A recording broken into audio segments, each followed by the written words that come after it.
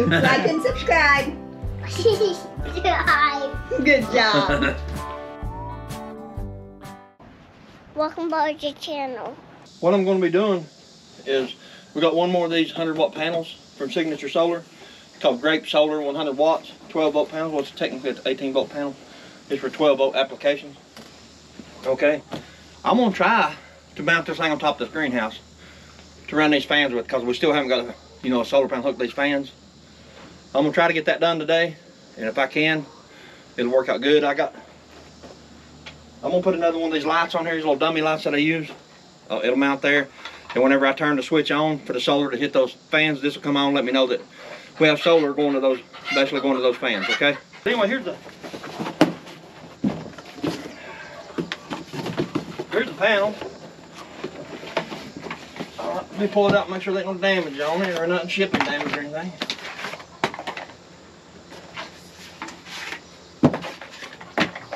Yeah, it's got a little bit right here. A little bit of damage right there. Same there. place as the other one. Same, exact same place as the other one.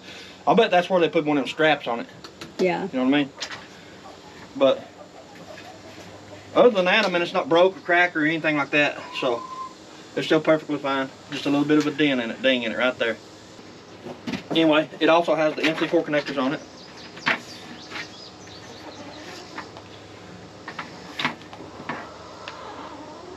Standard MC4 connector. So what I'll do is I'll mount it up there. Run them down, I'll make a couple like little jumpers with MC4 connectors on to run down into my switch. And then that's basically it for this. And then we'll test it, make sure it works and everything. And uh, kind of the same way we done the the little uh, battery charging station over there that we done. And I'll leave I'll leave a link to that video here too if anyone wants to check it out. We I built a uh, kind of a standalone 12 volt solar charging station for our batteries up here at the barn just in case. Uh, maybe one day I want to add like a small inverter to it or something like that. But anyway, I'll leave a link to that video here also. I'm gonna do is I'm gonna cut two more pieces of this unistrut, 32 inches long.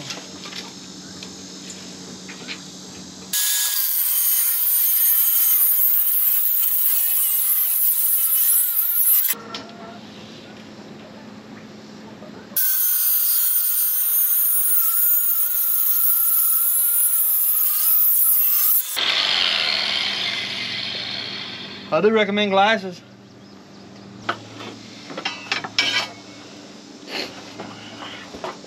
Unistrut, I mount it the same way. The roofing, sheet metal screws, big fender washer, right directly on top of this. I didn't tighten it so tight that it squished my plastic, but it's definitely on there really good. I mean, it's not going anywhere. The way I'm mounting this is the same way that I done the other one over there on that other video. But uh, basically just a this little thing that goes in that unistrut and you turn them, they lock into place. It's threaded, quarter inch bolt, two inch long with a fender washer. You basically put your solar panel in here like that and it'll just pinch it down just like that. That's all it does, pinch it down.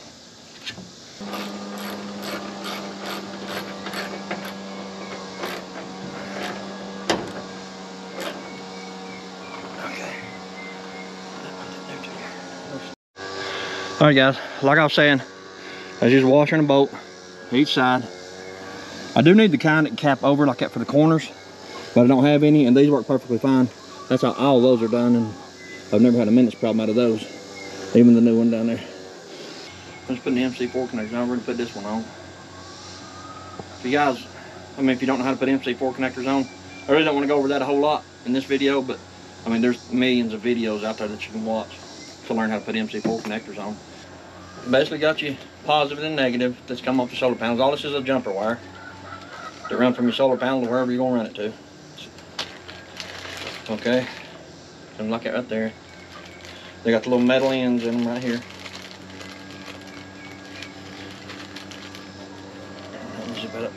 You can order these things by the off Amazon.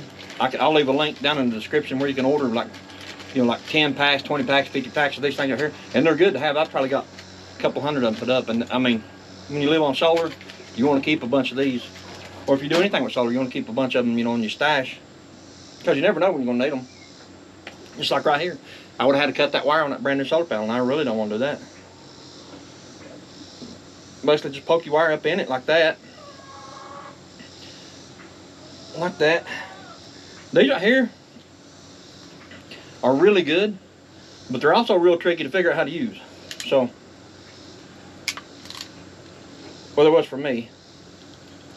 You stick it in there and make sure both pieces of that's in that lid and that thing there. And then you basically just ratchet it like that. And It puts a perfect crimp on it every time. If you remember to basically how to use it. it it's tricky, we'll put it that way. At first, if you ain't never used one before, it's kind of like, how the hell do I use that? But anyway, same deal.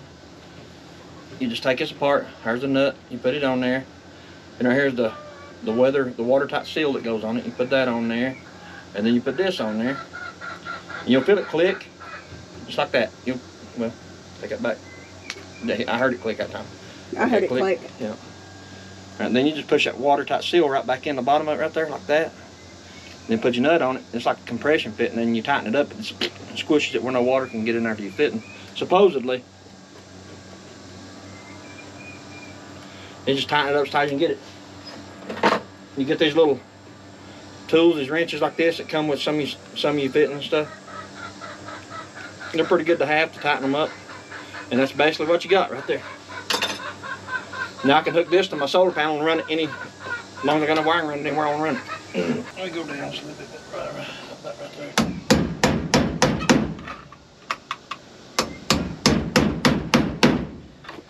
Okay, One, two. I should have one more right here. Three. I'll put it down here probably. And give me just a minute and I'll explain why I'm doing this. Let me get this on here and I'll show you.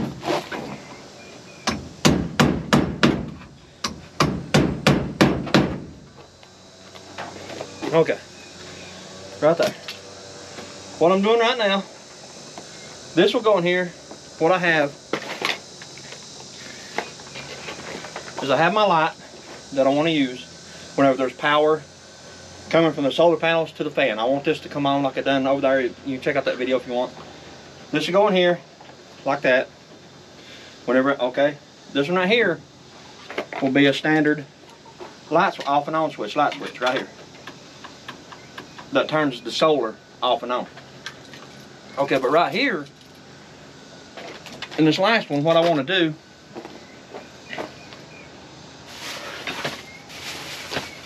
is what I have here is a speed control.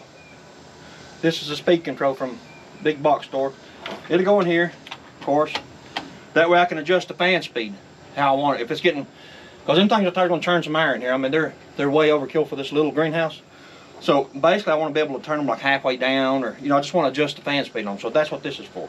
And this will go up to the to the fans, of course. And uh, it, it also has a light on it too. We turned off, you can turn it off and on this way. But I also want that switch in there, where I know there's no solar going from here up. You know what I mean? In case I have to work on it or something. So that's the plan with this. So I'm gonna have a light switch, the green light that tells me that we got juice, and then I want this right here. Basically the same thing, but it's just redundant. And for a speed control for the two fans. What I'm doing, the top one is gonna be for the speed control, for the goes to the fans. And probably the middle one, I'll probably put the the pipe, you know, the uh, solar line into from the solar panel to get turn it off and on.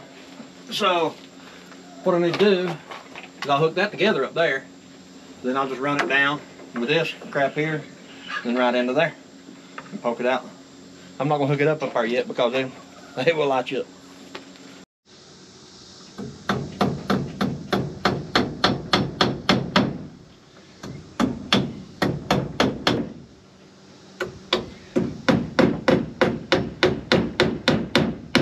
Again, I'm leaving a loop in it because you never know if it's gonna get jerked or whatever. But what I'll do is I'll put a couple zip ties in it.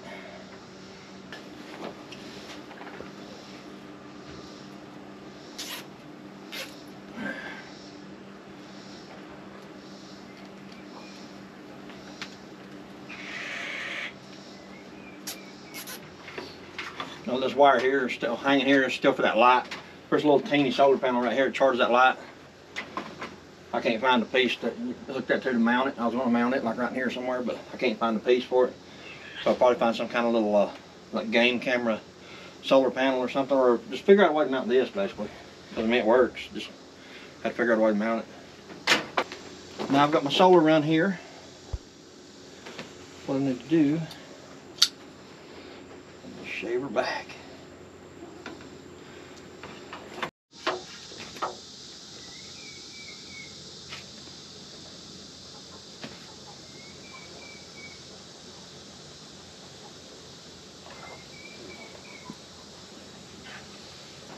Piece of red tape on that so I remember which one's which.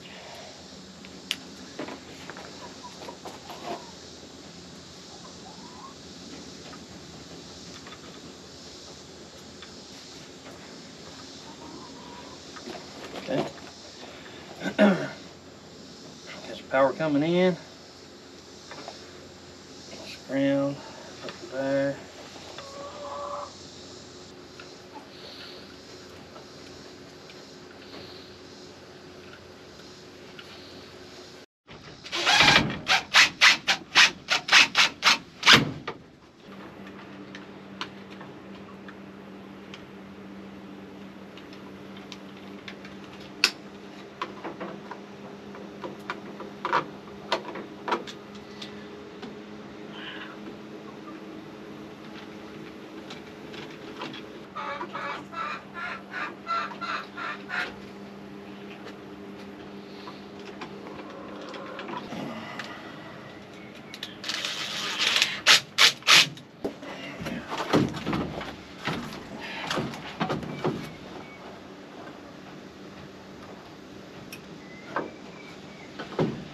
Okay.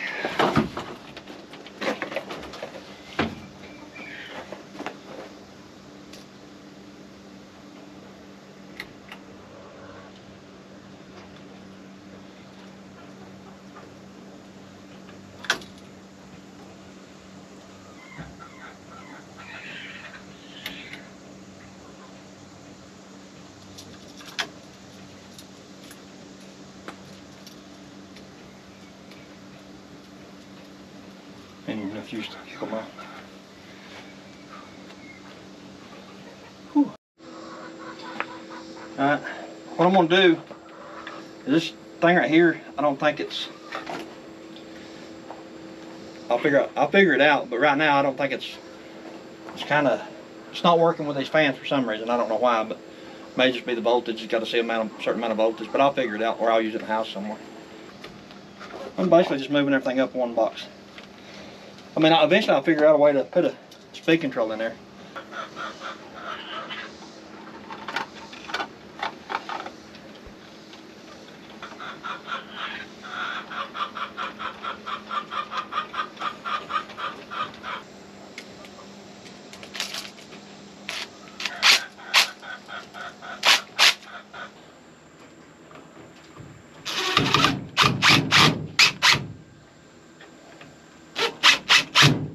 Anyway, gotta put this cover here on, and then that'll be we'll be done.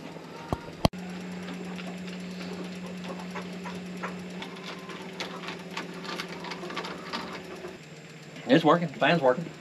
Yeah. I can hear them. We've been putting this off for a while because we didn't have the panels.